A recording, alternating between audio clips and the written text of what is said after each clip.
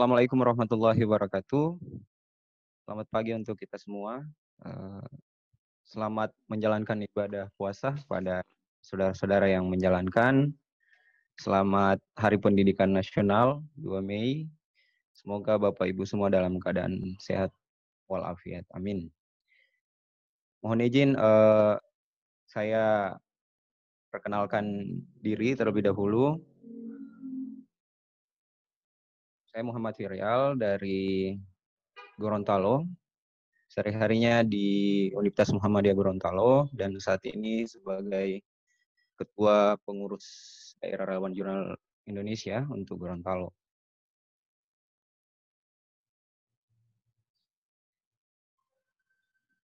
Baik, Bapak Ibu, eh, materi yang saya dapatkan mengenai pembuatan profil Google Scholar eh, untuk jurnal sebenarnya materinya tidak terlalu berat-berat ya seperti yang sebelum-sebelumnya. Karena yang sebelum-sebelumnya itu memang apa perlu perhatian khusus. Kalau ini ya karena mungkin Bapak Ibu sebagai seorang akademisi sudah memiliki profil Google Scholar tentunya baik secara person pribadi maupun mungkin sebagai pengelola jurnal. Tapi ya tidak apa-apa kalau kita sharing kembali bagaimana cara pembuatan untuk profil Google Scholar untuk jurnal. Materi yang uh, insya Allah akan saya sampaikan hari ini, yang pertama mengenai deskripsi mengenai Google Scholar itu sendiri, kemudian urgensi Google Scholar untuk jurnal di Indonesia, kemudian kita akan membuat akun Google Scholar, mungkin kalau misalnya ada waktu kita demo, tapi kalau tidak ada, tidak apa-apa, karena sudah ada di materinya. Kemudian langkah-langkah dalam memasukkan artikel di Google Scholar, ini beberapa kasus kalau misalnya ada artikel-artikel yang belum dimuat di Google Scholar, yang tidak ditarik langsung oleh mesin Google. Baik, apa itu Google Scholar? Ya, mungkin Bapak Ibu juga bisa baca di beberapa literatur terkait, banyak di open search Google juga. Jadi layanan ini adalah sebagai salah satu layanan yang dari Google, itu diluncurkan pada tahun 2004 uh, ya kita kenal dengan istilah Google Scholar, tapi kalau di Indonesia lebih familiar dengan istilah Google Cendekia.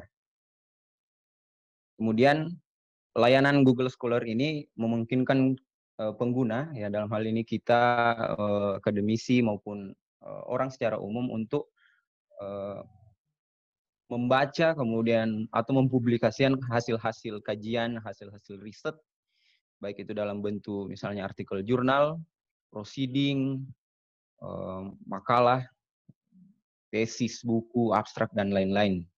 Nah, ini eh, bisa secara eh, person, ya, bisa juga komunitas profesional, bisa pusat data, bisa universitas, dan organisasi akademis lainnya.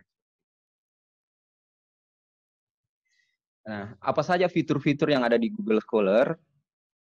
Yang pertama itu kita dapat melakukan pencarian uh, melalui kolom uh, yang disediakan di halaman beranda. Jadi Bapak Ibu tinggal masukkan keyword terkait kebutuhan Bapak Ibu, misalnya uh, disiplin ilmu Bapak Ibu ya, langsung search saja. Nanti ketika di search akan muncul semua penulis atau peneliti dari berbagai bidang ilmu tertentu. Jadi Bapak Ibu bisa mencari ini untuk kebutuhan Bapak Ibu juga, misalnya untuk pengelola jurnal, untuk misalnya mengundang reviewer atau mau mencari reviewer yang memang ahli dan kompeten di bidangnya, ya bisa lewat Google Scholar dengan memasukkan uh, keyword uh, profil nama atau uh, ya profil nama dari peneliti atau uh, penulis seperti itu. Selanjutnya, nah hasil-hasil dokumen uh, yang ada di Google Scholar itu Eh, lengkap dan boleh dikatakan uh, sudah terseleksi. Kenapa?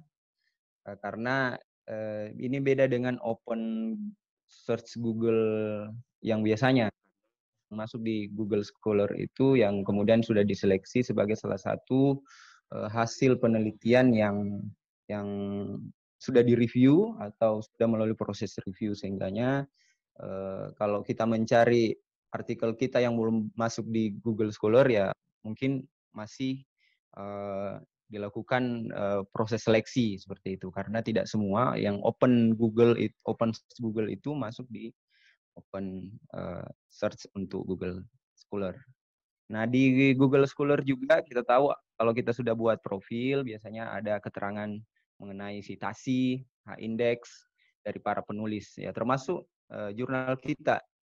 Ya, makanya nanti kita akan lihat uh, bagaimana uh, apa jurnal kita itu memiliki H-index citasi ketika misalnya ada penulis atau pembaca yang melakukan citasi di jurnal kita.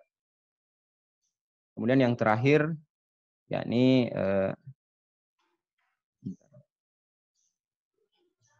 nah kita diberikan apa diberikan kesempatan untuk membuat itu membuat akun profil kita ya, sebenarnya eh, beberapa waktu lalu mungkin juga sudah dibahas melalui forum relawan jurnal terkait eh, dengan eh, adanya berita-berita mengenai bahwa yang bisa membuat profil Google sebenarnya hanya untuk peneliti atau penulis.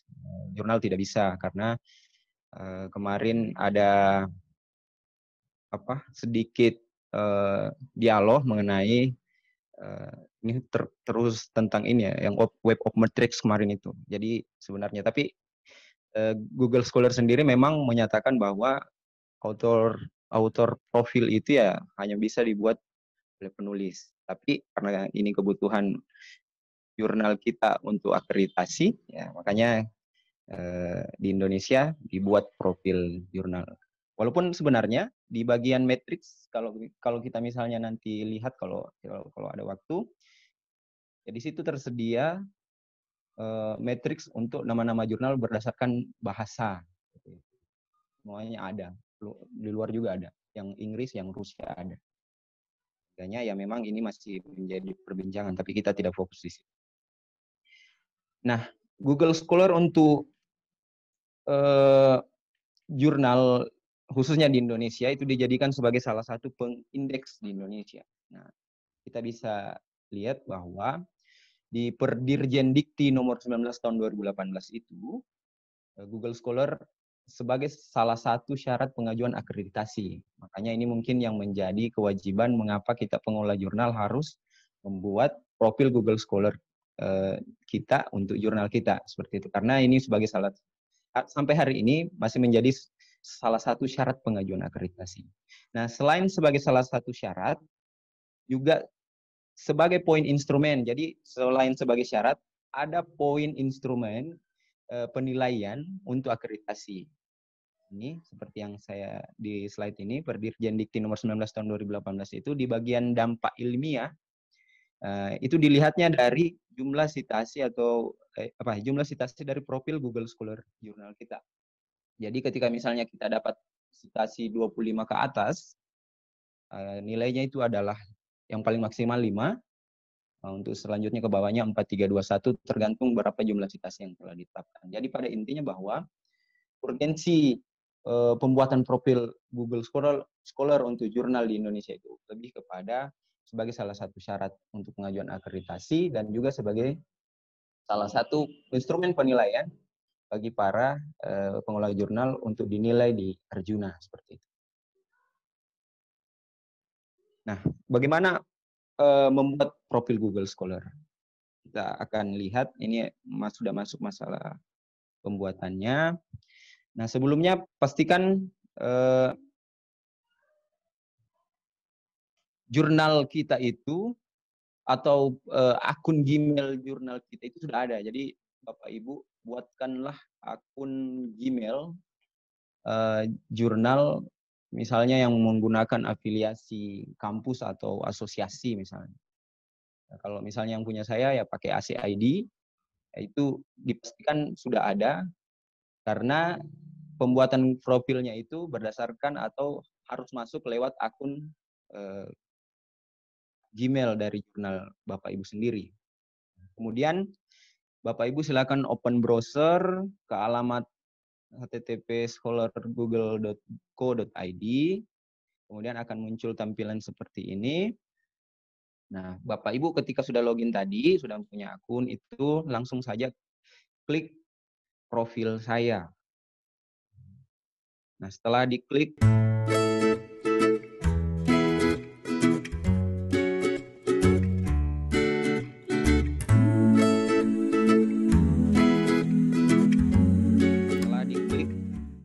profil saya. Bapak Ibu akan uh, diarahkan ke halaman ini. Nah, silakan Bapak Ibu mulai mengisi kolom-kolom yang ada di situ. Kemudian isi nama jurnal. Eh, usahakan nama jurnalnya sesuai dengan ISSN. Kalau tadi Pak Dr. Ramlan sudah menjelaskan bagaimana membuat, kalau misalnya sudah ada ISSN-nya, usahakan nama jurnalnya itu yang dimasukkan sesuai dengan apa nama jurnal nama jurnal yang di ISSN. Kemudian afiliasinya lembaga penerbit, ya apakah itu diterbitkan oleh prodi, apakah itu diterbitkan oleh tingkatan fakultas atau di tingkatan universitas silakan dituliskan. Kemudian email untuk verifikasinya ya, itu tadi isi email uh, afiliasi. Jadi kalau misalnya jurnalnya uh, sudah memiliki itu ya diisi email jurnal tersebut nanti diverifikasi oleh universitas. Dan untuk minat isi dengan disiplin atau fokus bidang jurnal Bapak Ibu. Misalnya kesehatan, misalnya eh, informatika atau pertanian, kesehatan ya. Silahkan diisi. Kalau mau lebih spesifik, juga enggak apa-apa. Misalnya saya mengelola jurnal administrasi publik, saya mengisi lebih spesifik tentang manajemen publik atau kebijakan publik itu bisa. Kemudian di halaman beranda isi dengan isi saja dengan link URL jurnal Bapak Ibu. Sehingga kalau misalnya ada yang melihat uh, profil Google Scholar jurnal Bapak Ibu, dia mau melihat uh, jurnalnya ya bisa langsung ke beranda dan berandanya mengarahkan ke link atau halaman uh, jurnal Bapak Ibu. Setelah Bapak Ibu isi semua, kemudian klik berikutnya. Pastikan sudah lengkap. Nah, ketika sudah lengkap, itu akan mengarah apa? Halaman ini ketika kita sudah klik yang berikut. Nah, Bapak Ibu pada halaman ini silahkan untuk eh, memasukkan nama jurnal atau ISSN-nya langsung. Kalau misalnya memang beberapa artikel Bapak Ibu yang ada di jurnal itu sudah diindeks oleh Google Scholar. Ini untuk apa? Untuk memudahkan Bapak Ibu untuk melihat kira-kira sudah ada tidak artikel yang punya Bapak Ibu di jurnal itu yang sudah diindeks. Nah, ketika itu sudah ada, misalnya ini contohnya, silakan Bapak Ibu centang eh, beberapa artikel yang memang punya jurnal Bapak Ibu, yang punya artikelnya Bapak Ibu. Jangan mencentang artikel sekalipun mungkin nama jurnalnya itu mirip-mirip. Nah, kita harus memastikan bahwa artikel yang memang kita centang itu adalah milik jurnal kita. Sehingga ketika sudah dicentang, Bapak Ibu silakan melanjutkan dengan mengklik tanda panah biru di sebelah kanan atas. Selanjutnya, ketika sudah diklik tadi yang tanda panah itu, Bapak Ibu akan dibawa ke halaman ini. Ya silakan Bapak Ibu eh, tidak us apa yang terapkan update secara otomatis itu biarkan saja saran saya. Kemudian pada bagian jadikan profil saya untuk umum itu silakan dicentang untuk memudahkan atau untuk mem me memperlihatkan jurnal ini bisa dilihat secara umum. Kalau tidak diklik itu ya sifatnya personal. Jadi silakan dicentang kotak itu dan klik selesai. Nah, Bapak Ibu akan jadi profilnya seperti ini yang pertama. Tapi di sini belum terverifikasi. Makanya Bapak Ibu harus klik itu untuk verifikasi untuk kemudian nanti di afiliasi Bapak Ibu dalam hal ini mungkin yang uh, punya akses untuk memverifikasi itu akan melakukan verifikasi. Kemudian Bapak Ibu juga sebenarnya pada posisi ini bisa mengganti uh, gambar atau uh, jurnal apa profil dengan logo jurnal atau hal-hal terkait jurnal. Nah, seperti ini kalau misalnya sudah, ini sudah terverifikasi uh, oleh uh, tim IT kampus misalnya yang pegang akses itu. Kemudian, nah ini uh, kalau Bapak Ibu mau melihat perkembangan kutipan atau perkembangan citasi dari jurnal Bapak Ibu, otomatis masuk ke misalnya ke email Bapak Ibu sebagai editor jurnal ataupun yang pegang akun email jurnal, ya Bapak Ibu klik ikuti itu kemudian akan terlihat eh, keterangan beberapa kolom di situ ada tiga kolom. Bapak Ibu centang saja, ya bisa sih sebenarnya dicentang semua.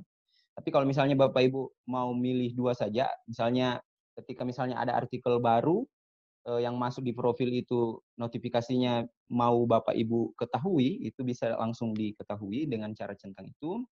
Kemudian, nah ini juga yang penting. Biasanya kalau kita uh, mau mengetahui ada tidak kutipan baru ya, tidak perlu lagi buka profil ya, kita dapat ya, notifikasi email saja nanti langsung dari uh, Google sendiri, Google Scholar sendiri. Sehingga dicentang itu. Kemudian untuk menerima update-nya itu silahkan masukkan email Bapak Ibu, baik itu jurnal mungkin atau email Bapak Ibu sebagai editor uh, di kolom itu, kemudian klik selesai. Itu insya Allah nanti Bapak Ibu setiap ada profil apa artikel yang baru masuk di profil jurnal kita ataupun yang mengutip itu masuk ke notifikasi email kita. Selanjutnya. Pak Firial, waktunya tinggal satu menit ya Pak. Oh, tinggal satu menit saya. Oke, ya. cara mudah menemukan yang telah terindeks di JS. Eh, Bapak Ibu langsung masukkan saja di ISSN, eh, apa di halaman Google Scholar tentang uh, nomor ISSN. Nah, itu nanti akan terlihat semua. Kalau misalnya memang sudah, saya ini saja karena masih ada yang penting sebenarnya.